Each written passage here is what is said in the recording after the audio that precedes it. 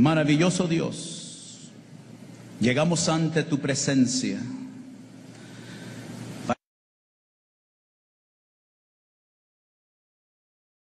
Para darte gracias por tu presencia.